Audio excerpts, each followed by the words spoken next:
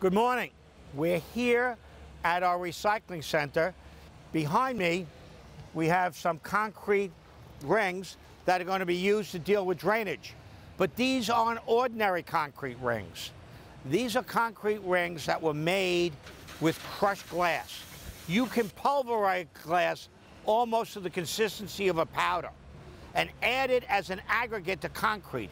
And concrete is actually stronger when you add an aggregate like glass.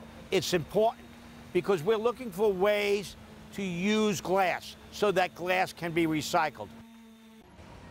If we could use it in making concrete, we could reduce the carbon footprint that happens when we make concrete.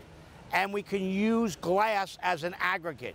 Glass as an aggregate will strengthen concrete. These rings will be drainage rings that will service here at our recycling center in the years to come.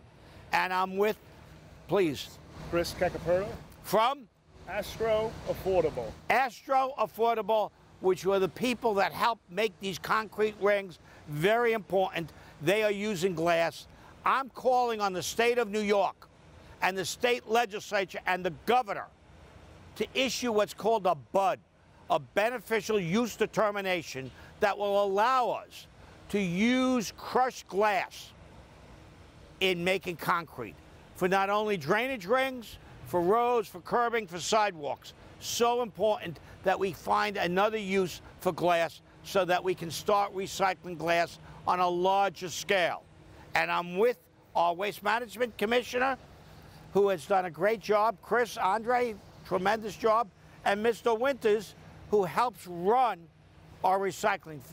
You have anything you'd like to add? Uh, just that uh, we're excited to be able to provide glass to uh, the aggregate sourcing to make these rings. Uh, Jeff Nelly here runs the facility for us, and uh, we're super excited to be here. So with that, we're going to let these rings get installed, do their job. And we're going to hope that the state of New York does the right thing. They have all the data.